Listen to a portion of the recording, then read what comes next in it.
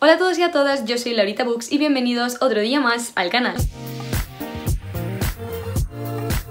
En el vídeo de hoy, como podéis ver en el título, os traigo el primer book haul del canal y la verdad es que me hace muchísima ilusión porque hoy os vengo a enseñar un montón de libros que han llegado nuevos a mis estanterías. Los últimos dos meses en los que hemos estado encerrados en cuarentena me he encontrado un poco latente, es decir, apenas he comprado libros y he tirado de lo que he podido, ya sea pues lecturas atrasadas, libros que tenía olvidados en el Kindle, he ido resistiendo un poco, pero es que ha llegado el mes de mayo y yo no me he podido resistir más y la verdad es que he utilizado esa excusa para volverme un poquito loca. Tengo un montón de libros que enseñaros, algunos creo que os van a hacer tanta ilusión como a mí, así que sin más dilación, empezamos. Los primeros libros que os quiero enseñar son estos cinco de aquí y la verdad es que me hace muchísima ilusión porque me los ha enviado una editorial, ha sido una de mis primeras colaboraciones.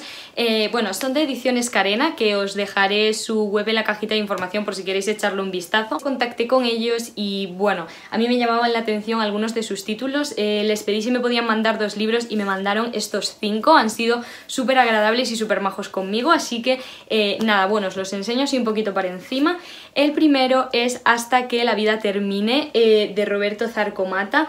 Eh, este libro ya me lo he leído, eh, es un libro de reflexiones, de textos pues llenos de sentimiento, yo me leía pues dos o tres antes de irme a dormir y de verdad los disfruté muchísimo, he subrayado y marcado un montón de frases, me ha encantado y por eso tengo tantas ganas de leerme el siguiente que es Momentos, que es un poco así del estilo. Los siguientes tres libros son más bien pues ya eh, novelas, narrativa o, de relatos. Este fue el que originalmente pedí, se llama Te quise ayer y me hace muchísima ilusión porque además se ambienta en mi ciudad, que es A Coruña, así que tengo muchísimas ganas de leerlo y creo que va a ser una de mis próximas lecturas. Tiene muy muy buena pinta. El siguiente es La Noia y otros relatos y el último es eh, Tara. Los tres tienen una pintaza, tienen pinta de ser libros que te van a marcar un montón, que te van a hacer reflexionar y la verdad es que estoy bastante ilusionada ilusionada por leerlos.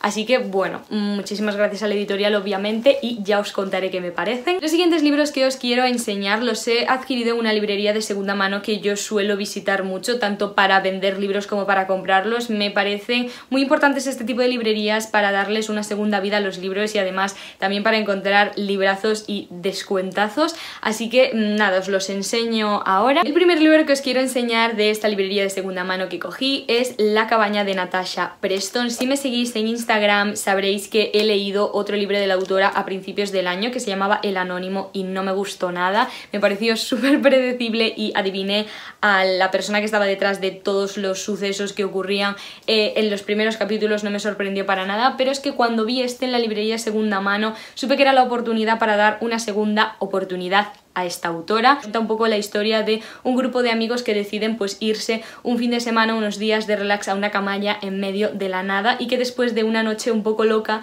eh, alguien mm, aparece muerto Así que obviamente ha sido uno de ellos. Eh, la idea mm, me parece muy guay, es un thriller que creo que me va a romper un poco la cabeza, espero que más que el anterior. Que la sinopsis tiene muchísima mejor pinta que en el caso del anónimo, me llama mucho más la atención, así que espero que me guste. Eh, la verdad es que le tengo bastantes ganas. El siguiente libro que me he comprado en la librería ha sido este tochaco y es The Horse, seguro que muchos de vosotros lo conocéis, de Stephanie Meyer.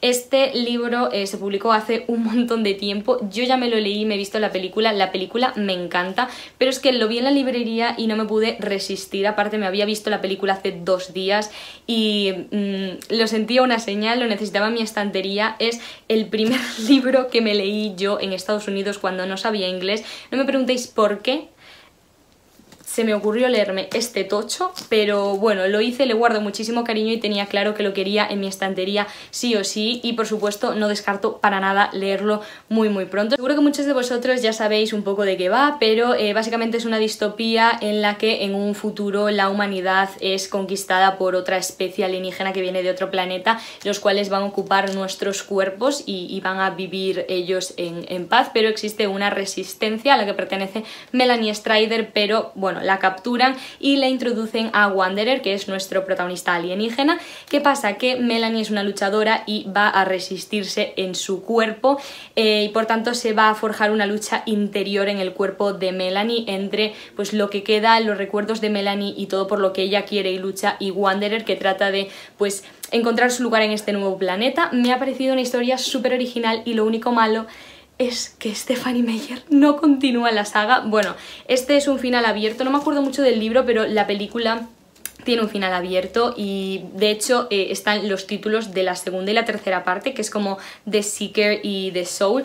Pero bueno desde 2012 llevamos esperando eh, las siguientes partes. Yo ya me he rendido pero eh, lo quería en mi estantería porque le guardo un montón de cariño a esta historia, está súper bien y yo os la recomiendo aunque no vaya a ver la segunda y la tercera parte porque de verdad vale muchísimo la pena.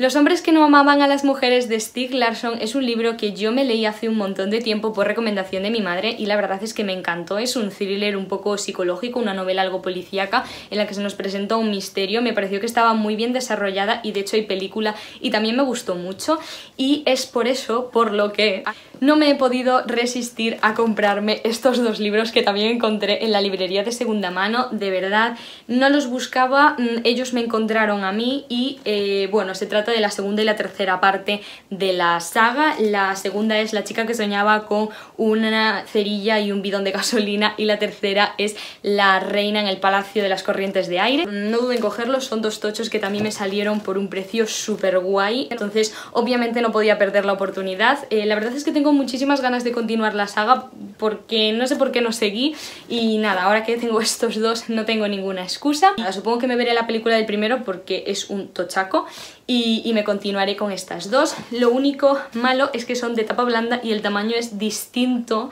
a la edición que tengo yo de, de la primera parte, pero... Pero bueno. Dios mío, cómo pesan. Estoy haciendo un brazo los siguientes libros que os quiero enseñar me hacen muchísima ilusión porque llevo muchísimo tiempo queriendo hacerme con ellos y por fin los tengo conmigo y son dos de los ejemplares de la colección que está sacando RBA de novelas eternas.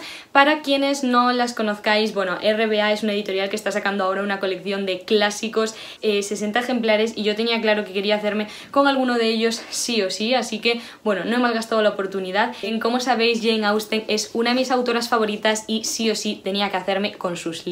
Orgullo y Prejuicio fue la primera que sacaron, aparte a un precio increíble, creo que por 2 euros o así, y no dudé en cogerla.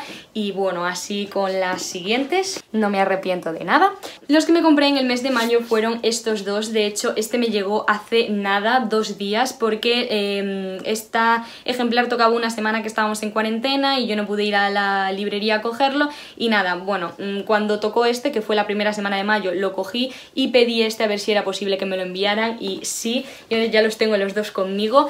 Eh, tengo muchísimas ganas de leerlos, creo que me van a encantar. Ya sabéis que Jane Austen es una de mis autoras favoritas y que quiero hacerme con todos sus libros sí o sí. Jova, es que mirad, son súper bonitas. Aparte esta es lila, que es mi color favorito. Es que este me va a encantar sí o sí, yo lo sé. Y por último, pero no menos importante, he dejado la joya de la corona para el final. Y es que ya podéis ver el hueco en la estantería. Y se trata del el book set de Trono de Cristal. Dios mío, menuda maravilla. Bueno, aquí está el de Assassin's Blade, que es el que me estoy leyendo ahora. Eh, me parece un pack increíble, mirad, vienen todos los libros y aparte, bueno, viene súper bonito con la espada y tal. Lo encontré de oferta en Amazon, está a 46 euros, así que si no lo habéis comprado aún, corred, insensatos. Mm, está súper bien, las ediciones son preciosas, ahora os las enseño una a una en un, en un plano. El primero es Trono de Cristal, que como ya sabréis, bueno, nos presenta la historia de Selina. Selina es una asesina la cual ha acabado en las minas de Endovier, que es como peor que una cárcel donde mandan todos los criminales allí a morir, pero bueno, ella es muy fuerte y resiste más de un año y cuando van a buscarla para proponerle un trato que consiste en que participe en una competición para ser la asesina particular del rey, ella no tiene otra opción que aceptar, ya que es o aceptar el trato o quedarse mm, con su destino incierto en las minas de Endovier, así que ella acepta y a partir de ahí pues se desarrolla todo. Como os digo, todo lo que os estoy contando, que es un poco la introducción a este libro, no tiene nada que ver con toda la historia que se desenvuelve, ya me han advertido y a mí ya me está encantando desde el principio. El siguiente es el libro de relatos que es de Assassin's Blade, que es una precuela sobre la vida de Selina antes de este libro. Eh, me lo estoy leyendo ahora mismo, me quedan pues unas 100 páginas y me está encantando. La verdad es que tenía las expectativas algo más bajas con estos relatos, no sé por qué, pero es que tienen de todo, tienen drama, tienen eh, acción, eh, los estoy disfrutando muchísimo y mm, bueno, para los que pregunten, mm, yo no sé aún si es obligatorio porque no sé hasta qué punto los personajes que aparecen aquí van a aparecer más adelante, pero es muy recomendable leerlos y de verdad que vale la pena, a mí me están encantando. Los siguientes libros que siguen a Trono de Cristal son Corona de Medianoche, Heredera de Fuego, Imperio de Tormenta, Reina de Sombras, Torre del Alba y el último de casi mil páginas es Kingdom of Ash, que esta de todas es mi portada favorita. Por favor, vamos a admirarla todos. Me encanta, tengo muchísimas ganas de leerme todos. Tengo la sensación de que esta saga me va a encantar y me va a marcar, así que tiempo al tiempo. Y estos son todos los libros que tenía para enseñaros. Como veis, sí que he adquirido un montón de libros últimamente, eh, pero es que no, no he podido resistirme. Eh, y entre estos y los que ya tenía pendientes tengo para rato, así que eh, espero poder leerlos todos muy muy pronto. Hasta aquí el vídeo de hoy, espero que os haya encantado. Dejadme en comentarios si conocíais alguno de estos libros, si los habéis leído o si tenéis ganas de hacerlo. Asimismo, os recomiendo que me sigáis en Instagram si aún no lo hacéis, porque estoy mucho más activa por ahí, os hablo de los últimos libros que he leído, que me han parecido y todos los libros que me voy comprando pues mucho más a menudo. Si os ha gustado el vídeo, dadle like y suscribiros, la campanita si queréis que os avise de todas las notificaciones que voy subiendo, pero ya os digo, subo vídeo todos los domingos a las 12, así que sin mucho más, espero que os haya gustado el vídeo y nos vemos muy muy pronto.